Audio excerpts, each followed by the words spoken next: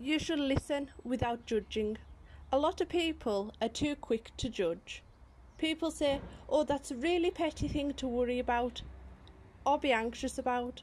But actually, if that's important to you, then that's important to you.